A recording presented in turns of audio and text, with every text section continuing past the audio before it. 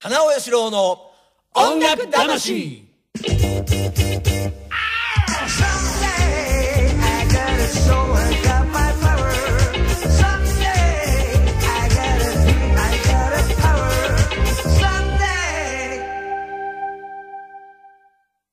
はい。皆様、こん、こんにちは。金尾吉郎でございます。えー、一週間ご無沙汰いたしました。金尾吉郎の音楽魂。ね、えー、ということで、松下敏美さん、こんにちは。よろしくお願いします。よろしくお願いいたします。今日天気いいね。なんかね、今日蒸し暑いですね。蒸し、いや、蒸し、蒸しますか？ムシムシしてます。あ、そうですかね。はいもうね、まあ、夏も、ね夏もね、すぐそこまでっていう感じになりましたけどもですね。えー本日はねあの、早速素敵なゲストを、ご紹介いたしましょう。吉田よし子さん、イエーイこんにちは。どうも、お久しぶりです。お久しぶりです、どうも。これなんか、うん、あるんだ。め、面会？そうそうそうそう。あのね、今こういう時期なんで、一応よしこさんと僕の間にはね、あの、10ミリの、あの、厚みの、ほとんど10ミリぐらいありますけどもね、アクリル板がこう ありますけど、面会ですね。面会してみたいでしょ。うん。なんか、まさか僕が刑務所に入ってるっていう感じですか？どっちがどっちだかわかんない。私があの、は姉かなんかで。あ、いやいやいやいや。えー、いかがですか？あの、ね、その後、おかわりありませんか？まあ、おかわりない人は今いいない、いらっしゃらないとねね、思いますけど。ねああ、でもおかげさまでね、私は生きてます。ねえ、あの、ますます輝きを増して、はいね。休んでたからね。ああ、そうかそうかそうかそうか。あのね、ここは近いんですよね。意外に。あバスに乗ればね、はいはい1本で、まあ、20分かからないはいはいはい感じでね、はいうちはあの私川崎市民なんでねそうですよね。川崎の富士見台っていうようなとこにいるんですけどね、うんうんほんと富士山が見えるのええいいな。あ、そうなんですか？それでそういうふうに言うのね。なんか住んでる人はね川崎の田園調布とか行ってるらしいよ、ええそうなんですか。う うちはそういううちではないですが、ああ、そうですか。いや、でもあの、今回やっぱこういうことに今ななりましたけどもですね、はいあの、ライブの、あの、ライブとかそういうのはなかなかちょっと、も大変ですかあもうね4月はまあほぼ実質的にゼゼロでねライブはね。5月に入ってねそれで私はちょっと早々とうん。あの岡山と名古屋の方にね姫路と行かしてもらいました。ああ、そうですか。皆さん喜ばれたでしょ。それはね、うん。というかもう自分の歌がね、にうん。翼が生えたようなうん。そんななんか目に見えてしまったようなねそんな感覚がありました、うーん。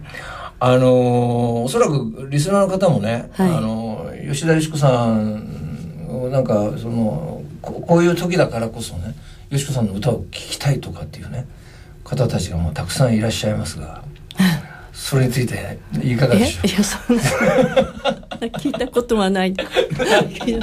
ただあのほら、みんなね、うん。ああいうねインターネットで、はいはいはい。あの配信をしてねライブされたりね、うあはいはいはい。あのまあ私はまだちょっとあさってねそういうお話ああってややるんですけども、うんうんうんなかなか急にやれって言ってもね私なんかままず機械に弱いしねいや僕ね、うん全然ダメなのよダメなうん、の、もうはっきり告白すると。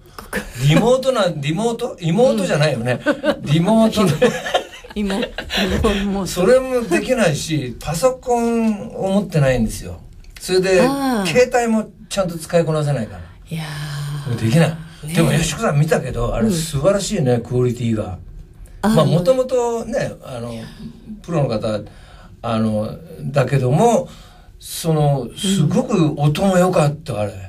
あれね、うん。あのただねやっぱりマイクに向かってマイク何？カメラに向かってだけ歌うっていう、その何とも言えない心もとなさみたいな。それはありますよ。ラジオだってそうだもんだって。そうでしょ、うん。やっぱりこうやって誰か相手がいるから楽しいけども。そうそうそうそう、ねえ。最初僕一人でやってましたから、うん。誰に向かってね喋、ってるのかっていうのはすそれはもう想像力を発揮す。るしかなくていろんな人のね顔を思い浮かべながらそのカメラの前で歌ってみるんですけど、まあ、でもそれはそれで、はいはい。いあのいいものもあるし、うん。ねあのだってそこにね行けない人がいろんなもう世界中で見れるわけだから、うんいいけどもやはりそのもうライブっていうのはまた別物うんでね、あのやはりみんながこう狭いところでうん。うんあのこう熱気のあるところでね。そうですよね、うんまあ、全く違う、うん。ん。僕もねやっぱりそう思いますよね、うんだからあのー本当にまああのそういうことができれば映像でね、うんあのあの遠くの方々まあこのラジオもそうですけどうも、ん。あのーまあエリアが狭いっていうねこともありましたがやっぱり長くねもう12年目になりましたので、ねえ12年だってすごい、うん長くねやらせてもらえうんるとやっぱ海外の方がねあのそうそう。YouTube 見ていただけたりね聞いていただけたりするっていうね、うんことはありますんで。その日のうちにね映像で見れるっていうのは素晴らしそうですね。素晴らしい。あの今こうやってキキさんもねねありがとうご動画をねたずっと立って、ね、撮っていただけてねねますけどもね、うん。あのそのまあダイレクト映像とあの後にうん。オンエア音源を、うん。あの写真とともに出すんですよね、うん。だから2回 YouTube 出ますけども、ねまたあの生放送お聞きになれなかった皆様はね、うん。そこでお楽しみいただけたらと思いますが、え両方あるっていいですね。だからこれからはなんか機会があれば、はいはいはい。ライブやってて、うん。もうそこで贅沢にあのね聞き聞きながらお酒飲んだりする人もうん。いるし、うん。同時にもう本当世界の果てまで、うんうんうんうん。あの配信できてね。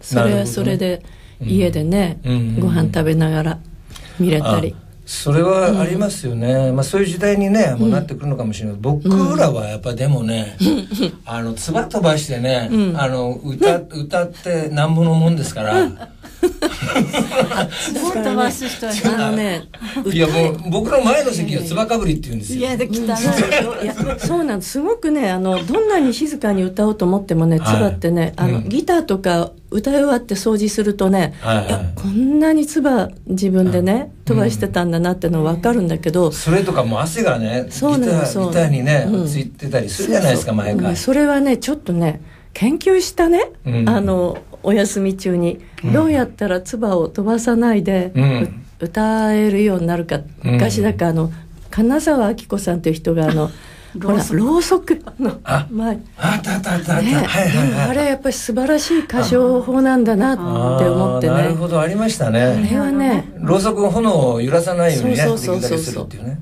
あれは唾飛ばないなってこう。そういうのあるかもね。思ったねそうだ、ね。民謡の歌い方になっちゃう。なんかそう。ね。大丈大丈夫ですか、はい。うん。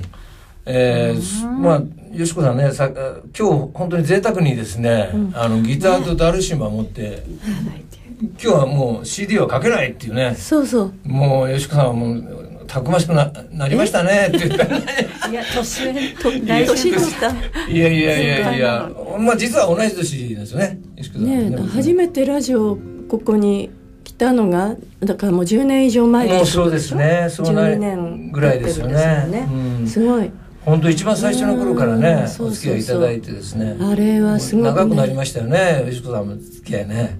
ねうん。えいやいやいやあの違う違うそういう変な意味じゃなくてよ。あの若くなった。そそうですね。ああでもねそれ最高の褒め言葉ありがとう。年はね私ね早く7080とかね、うんうん。なりたいなとは思ったりしてね。でも年を取れば若くなるっていうそれは一つのはいはいは目標。みんなそうだけどい、ねそうそうそう。ね。そういうふうにちょ追いたいもんですよね。あでも金尾さんもそうじゃない、うそうそう昔より若くなったような気がしない？いやどうだろう。いや苦労が足りませんから僕の場合はね。まあでもお互いにねこうやってね、うん。あの大変な時期もねあったと思いますけども、うん。あの今日はなんかその中からねよしこさんの歌をね皆さんおああのお待ちかねだと思いますが。いやあの何しますか？これはね随分昔に作った歌なんですけども、はいあのま一つのなんか自分のテーマの一つでもあるというかね。うんうーん。なんて言ったらいいのかな。残るものは残る、まあ、変わっていくものなくなっていくものもあるかもしれないけどもね、えーそういう中でまあ歌いますね、はい。あの「そこに私もいるでしょうか」っていう歌です。はい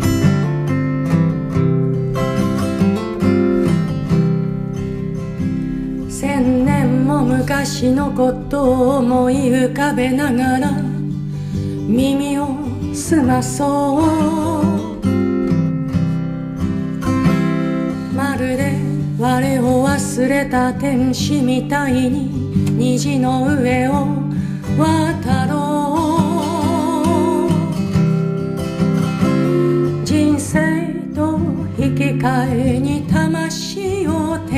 れてどこへでも飛んで行けたなら稲妻走る夜の空それから波一つない海原へ。すべての瞬間が水晶でできた皮膚みたいされる。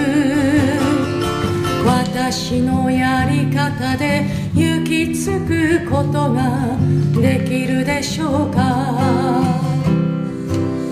そこで私が夢見てる踊りは珍しくてとても不思議。奏でる調べは未だかつて耳にすることのない。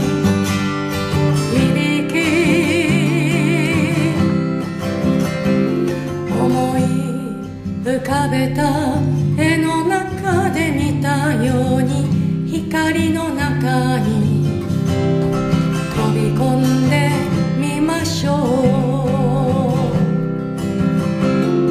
う。知らず知らず身につけてしまったたくさんの言い訳たちとけたわがままをそっと道の脇へ置くように。私のやり方で行き着くことができるでしょうか？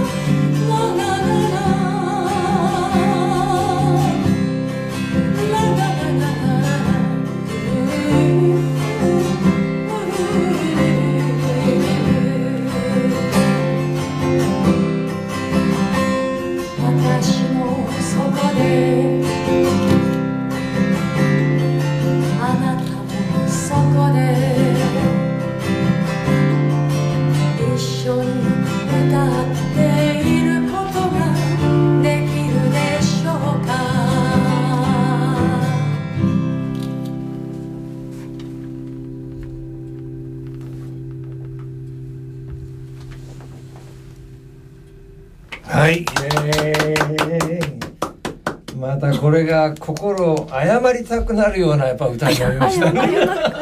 正座して聴かなきゃいけないような、ね、感じで。いやもう素晴らしいですよね。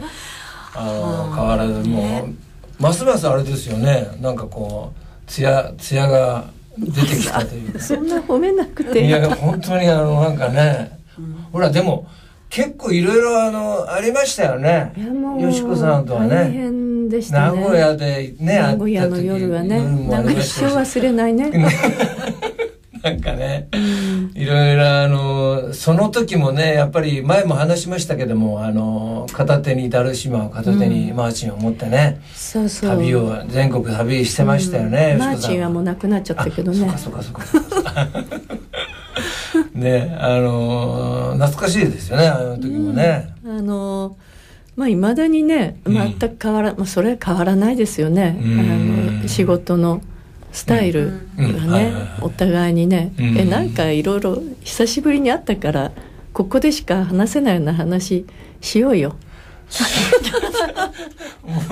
このさっき可愛い袋いそうそうそうそう、ただいたここしか話せないね。ここでしかねそうそうラジオなのにお友達に作ってもらったのいまあただいたこれね特にねちょっと今日ねよしこさん持ってきていただいたグッズがねこれグッズがあるんですけどこれちょっと宣伝しておきましょうよこれあのこれ可愛いトートバッグありがとうございます。ねこれはね、あの瀬川春日さんっていうね、あの、は人のお友達、あの岩手のお友達なんですけどね、はい。彼女が描いてくれた絵なんだけども、去年のね暮れにね、あエコバッグを作ってね、はいはい。あの旅先で売れたらいいなって思うわけ。うんでい今むしろねあのこれすごく便利ですよね。うんね。買い物に行く時ね。コンビニでももうお金取そうですよね。られるでしょ？そうですよね。でね、あのちょうどね、うん。仕事がなくなった頃、うん。3月のね終わりぐらいにねこれがね、うん。出来上がるの。うわ。あね、そうかそうかもまるでそうかそうか。これを売ってくださいと言わんばかりに。本当ですね。ね、もう本当にそれはねすごいタイミング。ちょっとね半分忘れてたようなところもあったんだけどね、うんあそうだった、ん。もうねいろんなことに感謝しながら、うんうん。4月のね、半ばぐらいまではねうん。これをねもう発送する毎日。だからいっぱい注文いただいたんでね。あもうね何枚もまとめて買ってくださる方もあったりとかね。あそうですか。私はあの歌手でなくてカバン屋です、いやこれがね T シャツだとかね こういうものって大事なんですよ。ね、それでね。それしかないもの。それでね、うん。私はちょっとあのあの人人ごちついたっていう感じ、あの収入がなかった、まあね、今もそうそうねほほとんどないような状態の中で、うん。それでねあのあそうそうアルバムをねうん。作ろうと思ってはいはい。行ったんですね、はいはい。で去年から少しずつこう録音あのライブ録音はいはい。をね集めていて、うん。でそれをまあできれば3月4月ぐらいに出したいと思ったんだけどもん。その費用もねはいはかかるでしょ、いうん。でどうしようかなって思って、うん。ギター売ろうかなとかねいや思ったのうん。一本ね、ででもこういうことがあって。うん。ねこれうん。これでもあのちょうどたまたまなんでしょうけどもね、うんいそうそうそう。でもこれはこれですごくすば素晴らしいですよね。これおいくらぐらいで売らそれれるんですかねこれ。1650円ってちょっと半端なお金なんですけどもあ商品税が入っていて。あであとね1650 1枚50円はね、はい。中の50円は、うん。そのあの UNHCR あ国民難民高等弁務官事務所、はい。そこにね寄付することにしました。ああそれは素晴らしいですね。自分も大変なんだけど、うん。もう今世界中大変でね、そうそうそう。今のこのライブハウスも大変じゃないですか。大変。本当に。だからねライブハウスも,、僕らももう明日どうなるか分かりませんからね、うん。僕は、ね。僕は特に、いや 本当にそうだと思うね。本当にそう。でそれでやっぱりちょっと私も鬱っぽくなったし、あそうなったなった。あの朝起きたら体が重くてね、うん。でねたお昼に食べようと思ったらぬか漬けの味がうん。しないの、うん。ね。でえこここれはこれ言わ言われている、うん。それ？あ味覚にとか思って。来るねそうそう。で保健所に電話したらもうね、一生に付されて「あなた違いますから」って言われたんだけど「熱はないでしょ」とか言われてね。でもねそれぐらいやっぱりすごくナーバスになってるし、やっぱりねこうなんかそれはねでしょ？みんなそうですよね,、うん。ね。夜眠れなかったりとか、うん。やっぱ生活のこととかね、うん。お金のこともそうだしね、あともっと根本的なこと。何のために生きてんのかとかね私なんかそうそうそう。やっぱそこに結構ねそれでもなんかもうほら目に見えないものだから、うん。でまたほらテレビとかで煽るじゃないですか、そうね。そうするとねあればっかり毎日見てたらそうね。ちょっと狂ってきますよね。そうそう。もうテレビもインターネットもそうそう。りそういう人に会えないしそうそうそう。あのね、うん。だからやっぱりできるだけそのストレスからね、うん。あの解放されるようなことをねそうね。僕はまあ吉子さんは素晴らしい歌があるんでそれ聞いた人がまたそこで救われるわけですよあのね。ね不思議なことにねうん。自分で部屋で歌っててね、うん、自分の歌に泣いたの何度も。あのね、そまあ時々あるんだけどね今までもあったけど、それはねちょっとあのなるほど、うんうんだから面白いね。ああそれ分かるような気もしますよね、うんうん。はあなんかこううんあのミュージシャンたちはやっぱりそういうのがねみんなあるのかもしれないですよね。あの辛い、うん。あの辛い仕事でもあるけれども、うん。あの役目は大きいそうですね。のねだかうん。らそういうミュージシャンもそうだし、うん。ライブをやってくださるお店もそうだしね。そうあの絶ね対に生き残らなければいけないって思っていてね。だからそのなんかもう名指しにされてね、うん。ライブハウスだとか、うん。もうそういうことがあったものだから、うん。そのスポーツジムとか、うん。屋形船とかね、昨日うちの近くで、あの観観光船がやっと動き始めてて。どこ？いやその観光船？観光船っていうかなんかあの隅田川とかのほら。そうか。うん。あの、うん。ね船が。うんうん。うん、それでそれ見た時にねちょっとやっぱほっとしましたよね。ねえ。お客さんあんまり乗ってないんだけど、うん。あやっとなんか動き始めたんだなみたいな。あのこの間だから新幹線にね本当久しぶりに乗って、うん。まあ、乗ってるだけで嬉しいんだけども、その景色を見たら、うん。田植えがね、うんうん。終わってる田んぼとかね、うん。そんなこと気がつきもしないと考えもしてなかった、うん。この2ヶ月ぐらい、うん。でもその間にもそうやってこうちゃんとした人の営みもあるし、うん。うん。自然は自然でちゃんとね、うん。あのね。緑が深くなってきてね、大変それはあの素敵なことだと思って、うん。で今度ねそのライブアルバム、はいはい。ちょっと宣伝になってしまうけどあライブアルバムね。ライブアルバムにしてね7月の3日にねあの出すことに決めた。あそうなんですか。昨日やっとねその原稿とか、あの音源をね工場に、昨日そう納品したしてもらったと。もうな録音してたの？そうそう。でもたの？でもその そいろいろねいろんな事情でもうちょっと出せないかもなってうんどうしようって思ったんだけどいろんなことに守られ。ああそうですか、うんうんえーおめでとうございます。そうそう。4月3日。そうそ7う月3日。あそうですか。発売。そこにもね「あのうんうんエバーグリーン」っていうはい。ちょっと副題が入ったタイトルなんですけどね、ええ。2020にしたんだけどもタイトルはね、はいはいああ本当にその常に変わらないうん。心っうん。ていうのがないとうん。こういう時に本当いろいろテレビ見たり、うん。ネット見たりして惑わされる、うんうん。もう簡単に惑わされる、うん、本当にそう思いますね、うん。僕もね。うん、なんかね、あのーまあ仕事が暇なもんだから、もう体ばっかり鍛えてますよ。あら素敵。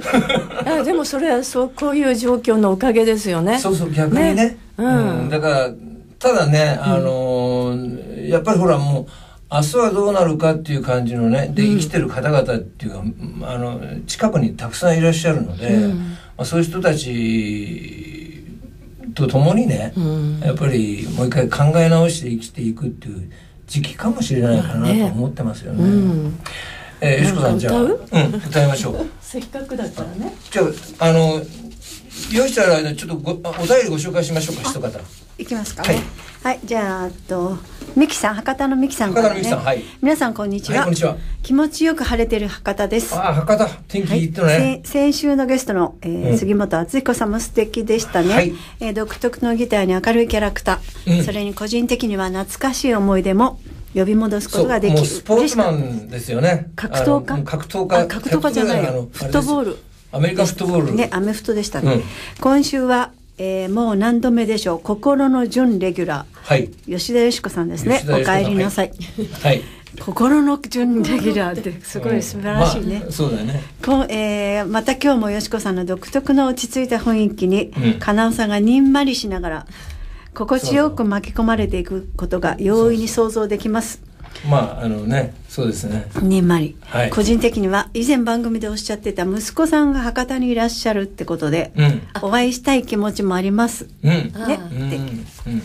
今日はいつものようにあっという間の時間をゆっくり感じさせてくれるよう吉田よしこワールドを午後のひととき楽しむことにします。あそんなことを覚えていってくださったそうなんです。そうあのねやっぱりずっとこの番組聞いてくださってる方もねたくさんいますんで、相変わらず博多におります。あ博多にそうですか。家族でねはい無事にいます、あもう結婚されもうお子さんいらっしゃるんそうそう。ですよね2人もいてね。うん。え？であのやっぱ飲食業なんでね、かん？福岡空港のうん。の店舗にあで空港ない。で仕事してたんでねずっとやっぱりそこはクローズして、うん。あの他のところで働いてたみたいだけどもうん、空港？うん、行ってあげて。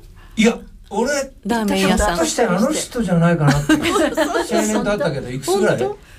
うん。やっぱまああんまずいかうん、さん30歳ぐぐらい。だからうちの娘と同じぐらい、うんそうだ。そうだ。でも娘と一緒に帰った時に、うん。ラーメン屋さん？ラーメン屋。行った行った。おそらくね俺ひょっとしたらその人と会ってるかもしれない、眼鏡かけるとそっくりになっちゃうんだけどいやいい男じゃない？んないよそん本当？背は高いかな？あ背高い。俺ひょっとしたら会ったかもしれない。本当なの？へえラー。メンうんいや屋さんでだからうん。うちの娘が「うわあかっこいい人がいるんだけど」とか言ってで俺すぐ話しかけて。で一緒に写真撮ったうことある。まいよね。偶然。それ偶然だったら素晴らしいね。すごいよね。もしその人だったら。うん。えラーメンそうなんだ。じゃあ後でラーメン屋さん確認して、ね、はいはい。で続きがあって。ね、うん。あとしみさんかなおさんの名曲シェアありがとうございます、あありがとう昨日ね、うん。あのサマーフィーリングっていうのをちょっと PV を簡単なあ僕のデビューアルバムの中のね。ですね、うん、可愛い声だよね、あれねちょうど昨日あはい。るレゲエバンドとの思い出を振り返って、そんな気分だったんでかなおさんのレゲエ。はかっこレガエですかね、いうん。朝から来て40年ぐらい前だったから、レガエまあ、あんまりやってる人いなかったんだよね。そのあれそうファーストアルバムってちょっとレガエなんですよ。レガエレガエ40年前。音楽雑誌も全部レガエって書いて本当にそうなんですか、そうそう本当だよ。レガエレガエ。福田一郎さんから僕言われたもん。レガエはかなこ日本じゃ売れないよって。でもレガエって聞こえるのね。あレゲエ、うん。そっちの方が自然かもしれないですそうそうそう。ねレゲエ。レガエにレ戻そう。ガエ返しちゃう。そうよ。はい。ね。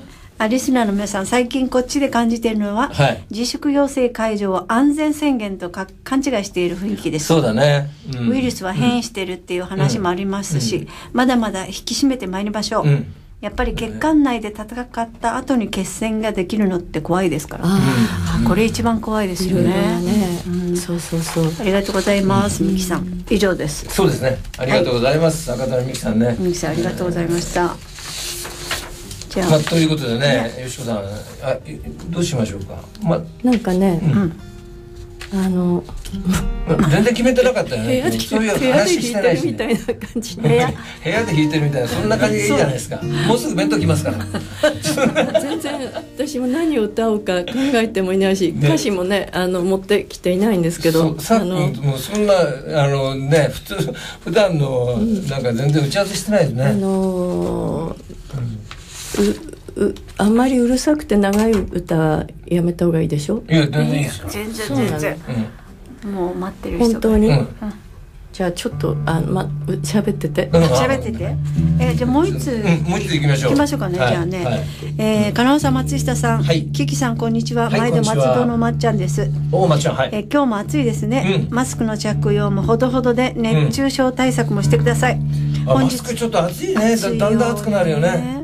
うん。暑いです、うん。今日のゲスト、ん。吉田よし子さん、うん。金尾さんみたいに先頭を切って勇気づけてくれるのと違い、うんそっと寄り添い、うん穏やかに支えてくれる、ヒートアップしがちな今にぴったりですね、うん。優しい歌声を届けてください。今日は仕事なので、お。後でゆっくり拝聴します。はい。追伸、えー。先ほどまたがって以前のものを送ってしまいました。笑ってください。あさっきね2通来てたからどっあち読んだらいいのかなと。あそうかそうか。はいありがとうございました。ね松戸のまっちゃんも看護看護師さんでね、あのもう結構もう30年ぐらいやられてる方、今もう大変な時だと思いますけどもね本当に頑張っていただきたいと思いますよね。はい。はい、えーよろしくございましょうか？はい、はい。あの優しい歌と言われたんですけど 少しはい。キリッとした歌も歌いたいと思います、よろしくお願いしあの今ねはい。アメリカではその、人種差別に対してもはい。はい。はい。またね新たな声というかね連帯というかはい。あのなかなか本当に根深いものなんだなって。だから本当一人一人のねうん。心が変わらない限りうん。世界は変わらないんだなと思うと本当に泣きそうになるんですけども。あなんか泣きそうになってきちゃった。涙もろくなならない？このねねやっぱりうん。俺なんかき北の国からで北の国からで泣いてるもん。あいやそうか。最後あのこれは「She Said No」という歌を歌わしてもらおうと思います。いそれをね聞きたかったんですそうですか。本当は。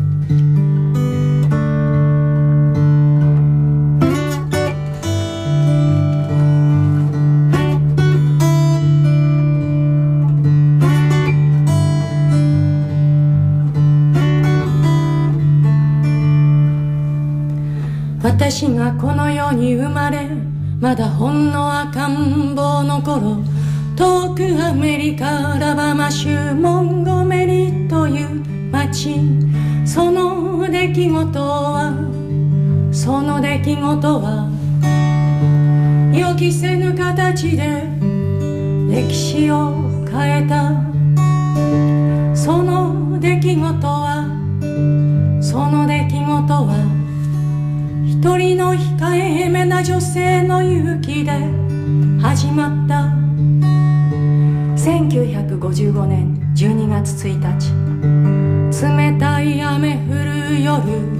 仕事帰りの人々を乗せる一台のバス。白い肌は前のドア。白い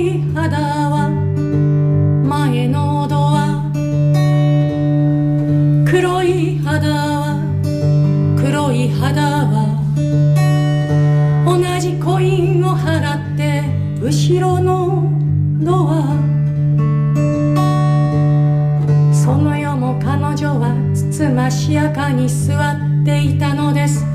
正しく表示された後ろの席に座っていたのです。彼女は疲れ果てていました。でも貧しさや辛い仕事にではない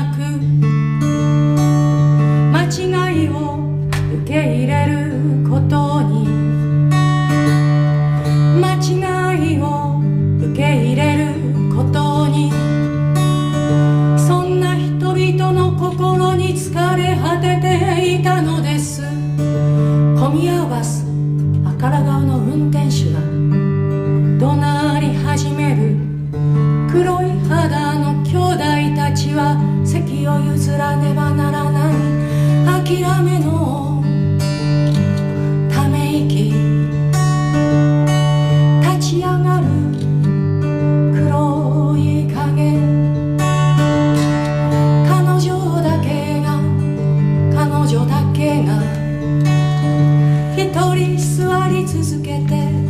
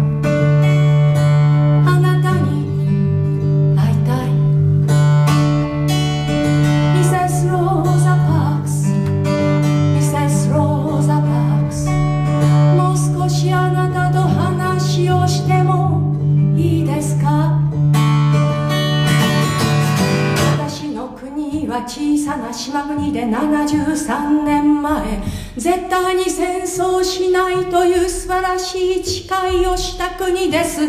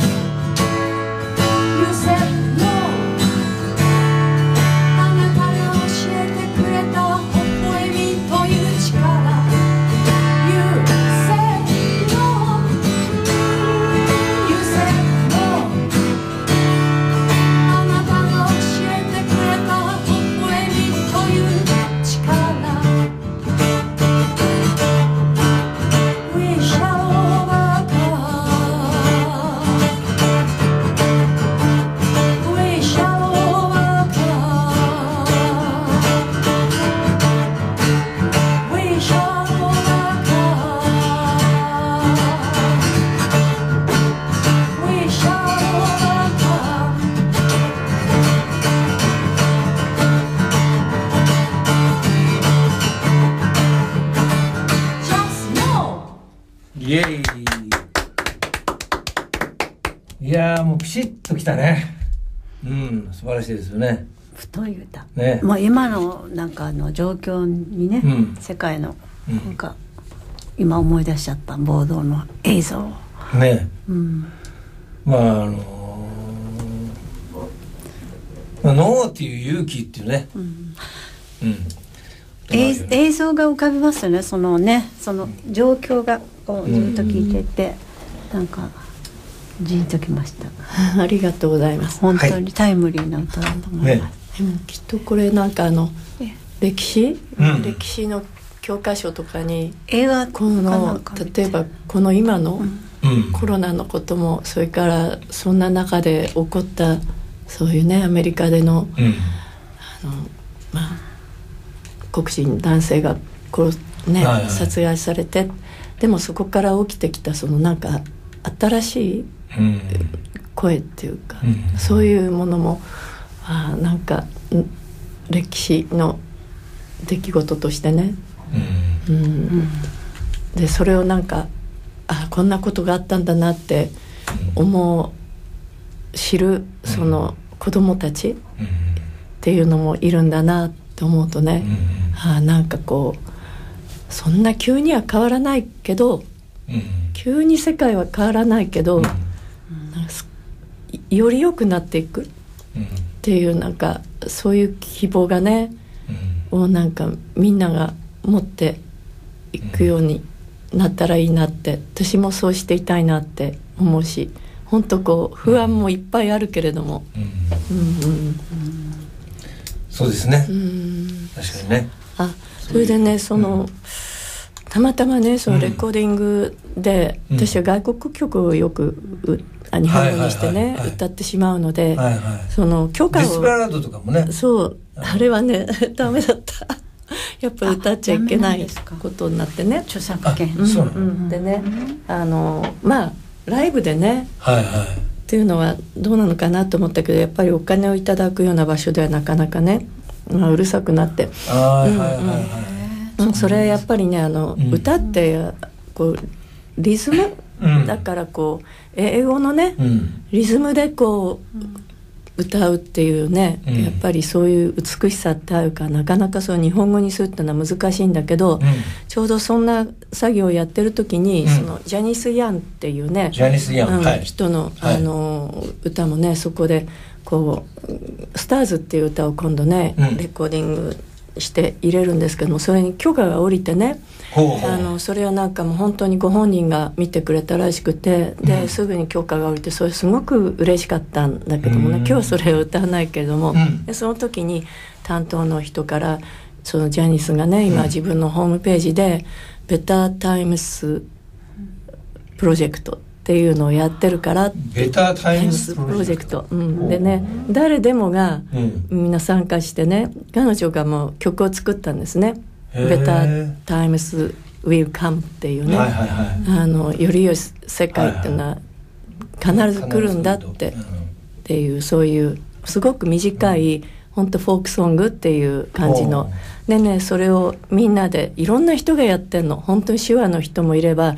はい。それで踊ってる人もいればそれでね塗り絵をねうん作ってる人もいればいろんな参加の仕方があるんだけどあのよくま今こうこコマあよくあの何？うん。あのズーム？ズームっていうかああいううんうんうん。リモートあそういうリモートでねあのみんながこうコーラスでやってる人もいればあっていう中で,、で私も参加してでただね自分でちょっと勝手にね日本語をつけちゃったんでそれもねあのこれで歌っていいんです。他でも日本語で他の歌詞で歌ってる方もいらしてだからか勝手にっていうかね、うん。でも別に自由でいいいいんじゃないかと思ってやったんだけどそしたらそれもたまたま本当うん。昨日の夕方 OK が出たの。あそうなんだ。ねそれね本邦初公開なんだけどもそれいいね。ででもねこれコーラス知った方がいい曲なんで本本邦初公開でどうしよえ？うドキドキだけど3人でハモらない？っていや俺これできる えーい。や私もねドキドキよ。いやどうかな人前で歌うの初め初めてだもん。初めてね。どうしよう。あのすごくねあこんな感じ「Better times better times will come. Better times Better times will come. ってそこをね一緒にハモって。ちょっとやってみようあのということ本当に本邦初公開。はい。はい「Better Times Will Come」作詞作曲ジャニス・ヤン、日本語詞吉田よし子はい。はい「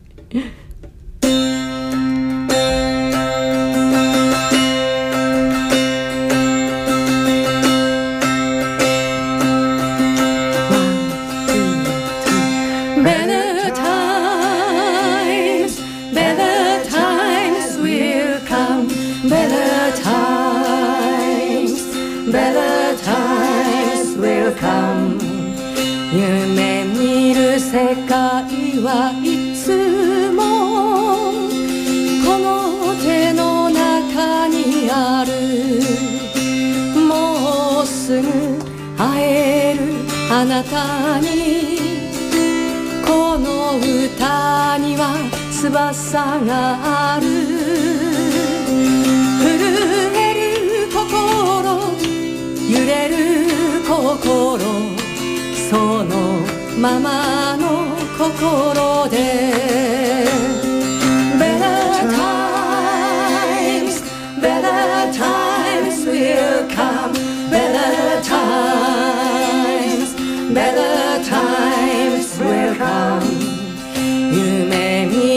世界はいつもこの手の中にある。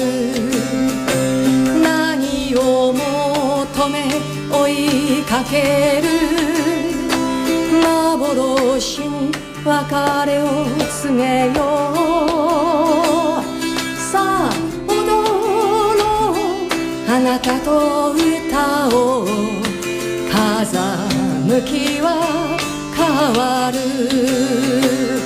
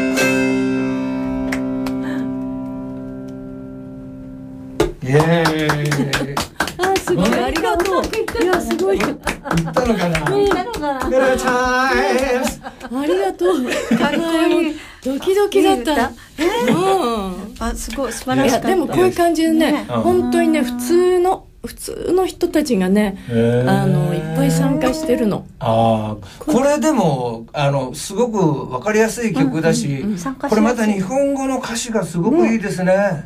覚えねもういろんな言葉で歌えば中国語で歌ってる人もいるしえ。ね本当？なんかねうなんだ。うんそれ。いやこのユニットで参加する？そのホームページに、え本当？できるんですか？俺パソコン持ってないけど大丈夫？スマホで撮れるんだけどさ本当？うんなやってみようかうん。なんかねこ,、うんこれからまだ半年ぐらいそれがねずっとアップされていくみたいで。あそうなんですか。ううん。わやりたいな俺。やりたい、うん。本当？うんちょっと練習してきますよ。練習。あとで撮ありがとうって。いやいやいやいやね、あの、本当に今日はね、吉田よし子さん、あの、もう相変わらず美しくてね、またマスクしてる顔が美しいのよ。何？俺びっくり。マスクしてもあ美しい。すごい。かっこいいね、あの、マスク。そそれすごい涼しそうですね。リバーシブルだねあうん、こうやってね。リバーシブルそれ。あ。でもいろんなところでいたいただくですよやっぱり手作りマスク。うん。はいはい。ねえ。僕あの、安倍さんからいただきましたよ。うちねまだ川崎はまだ何にも。まだ？うん。何にも。あまあまあ何でもね,、まあねあありがたいことですもらおうとか思ってるのも変な話ですけど、うん。でも、やっぱ日本人ってすごいよね。すごいそういうのを作る作るっていうかね、うん。見事にそういうね一つのこうモデルができるかもしれないなっていうのが、いろんな面でありますよね。あそうですね。ね。確かにね、うん。あのやっぱり日本ってねす素晴らしいなとか思いますよね、うん、うんたださなんかこうあんまり空気読みすぎちゃってもね、うんうんあのすごく息苦しくなる、うんうん。あそれは私はちょっといろんなところでも体験したから、うんあのなんか何でも言っていいよっていう場所もないといけないよねうん。って思っていうんうて、んうん。うん。そうだよね。また終わってからその話は今してほしいね、もうあっという間に時間なくなっちゃった。俺ちょっとなんか歌おうと思ったんだけあどもう今日はやめとこえや嘘。やろうよやろうよ。なんかやる？やろう。う嘘うー短バージョンうーであ短バージョンでやりますか短バージョンで。うー短バージョン。ごめんね。懐かしいねもうこの間も歌ったんだけどよしこさんのあのバースデーねあの時にやったらね。そうそうあのやりましたよね。ね。えっとやりました。風の中中で歌ったよね。はい。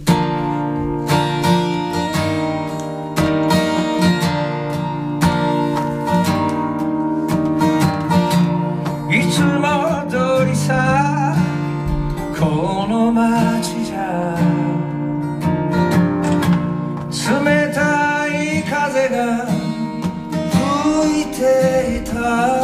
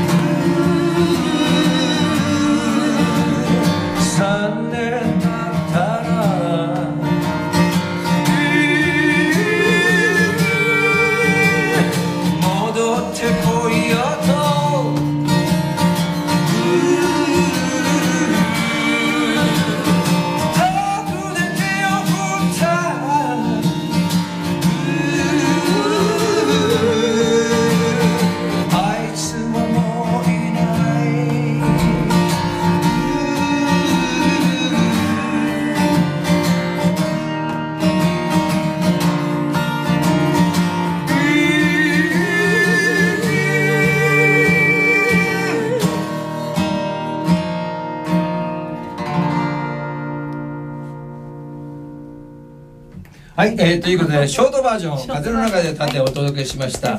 えー、ね、あっという間の1時間でしたけども、本当。ね、はい。どうでした？今日は。いやーもう呼んでいただいてありがとうございます。少し生き返ったような気がします、ね。生き返ってきました ありがとうございました。またお会いいたたしましょう。ありがとうございますえーお相手は？はい松下としみはい、金谷義郎でございました。今日の動画の聞きさんもありがとうございます。ますた来週お会いいたしましょう。来週のゲスト、ブルース、えー将軍オブザブルース、菊田俊介さんです。えーお楽しみください。See you next time!